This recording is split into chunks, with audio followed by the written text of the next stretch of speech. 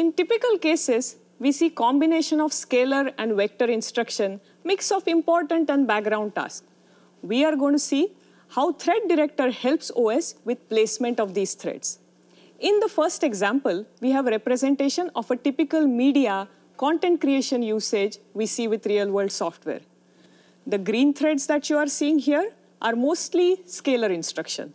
The dark blue threads that you see are vector instructions, and the light blue are background tasks.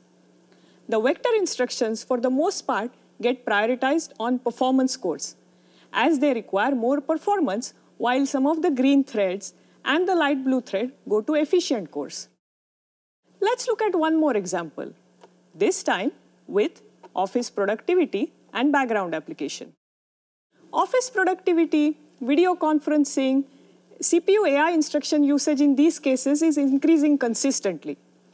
Placement of these AI threads is going to be key to maximize performance. As we have seen with previous example, we have green threads, which are mostly scalar. Then we have the orange AI threads added to the mix, where you can see Thread Director prioritizes them to performance cores. As seen before, the light blue tasks are running on efficient cores. All these threads here in this mix go through various phases within their own execution. You might have noticed there are phases once in a while where the dark blue uh, vector threads or the orange AI thread go to E cores. These are the phases where they have some scalar instructions in them.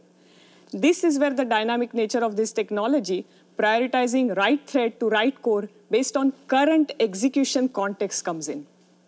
Lastly, I do want to show something else. I want to show fully multi-threaded synthetic workload running same instruction mix. Here, all threads go use all available core. To enable this level of fine-grained coordination for real performance, Intel jointly worked with Microsoft to incorporate this revolutionary capability into upcoming Windows 11 release.